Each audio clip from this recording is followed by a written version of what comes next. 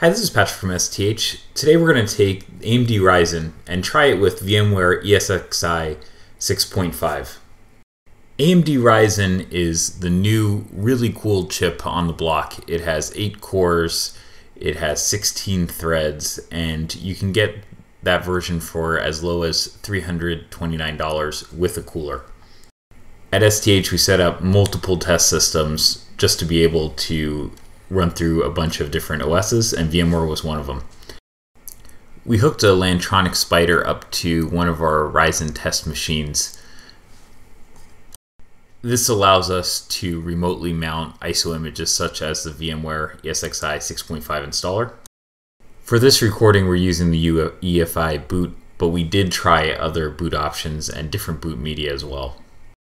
You can see that we have CentOS already installed, but we're going to go fire up the VMware boot image. And everything looks fairly normal as we start the installer process.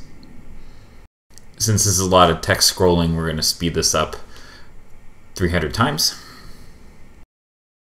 We were very hopeful that this would work, as if it did, we would get an 8 core, 16 thread, 64 gig of RAM home lab system for well under $900. On the Linux side, you actually have to update kernels for AMD Ryzen and AMD Zen architecture, so we were suspecting something would go awry.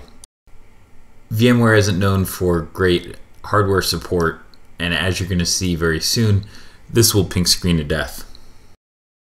This is something that AMD and VMware will fix for the Naples launch that's coming up in a few months. The good news is we were able to get Docker and KVM virtualization working if you want to try something open source, but for now, VMware, not so much. Thanks for watching, and please subscribe to our YouTube channel to see more cool videos.